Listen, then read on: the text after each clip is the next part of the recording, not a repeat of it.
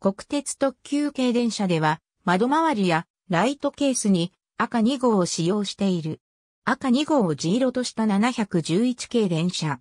赤2号を G 色としたミノブ専用115系電車。赤2号は日本国有鉄道が定めた色名称の一つである。深い赤色で、エンジ、ワインレッドとも呼ばれる。1954年にキハ H 系レールバスの裾色として制定されたのが最初である。その後、交流電気機関車と交流電車の G 色にも採用されたほか、1958年に登場した151系特急系電車など、いわゆる特急色の窓周りにも使用された。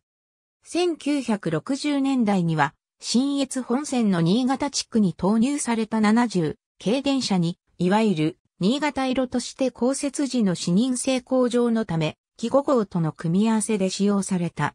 また、1977年には50系客車の塗装として採用された。さらに1981年にはミノブ専用115系電車の G 色にも採用され、1985年に登場した北陸本線向けの419系、471系、475系、413系でも採用されたが、50系以外は国鉄分割民営化後に塗装変更が行われ、消滅している。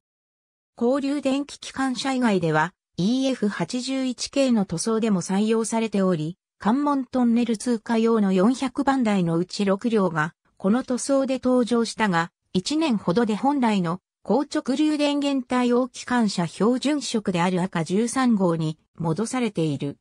その後 JR 東日本保有車両では退色防止の観点から一部の車両を除き、保有する EF81 がこの色に変更されている。JR 西日本北陸地区では、七尾線の電車において2010年以降の新塗装で用いられる色もこの色に近い色合いである。ありがとうございます。